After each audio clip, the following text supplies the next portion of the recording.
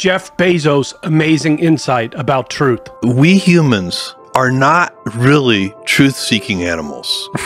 we are social animal and you know uh, take you back in time 10,000 years and you're in a small village. If you go along to get along you can survive. You can procreate. If you're the village truth teller you might get clubbed to death in the middle of the night. Truths are often they don't want to be heard because important truths can be um, uncomfortable, they can be awkward, they can be exhausting, uh, they can make people defensive, even if that's not the intent. You have to talk to people, you have to remind people it's okay that it's uncomfortable. You have to literally tell people it's not what we're designed to do as humans. It's not really, it's kind of a side effect, but it's not how we survive. We mostly survive by being social animals, being cordial and cooperative, and um, that's really important.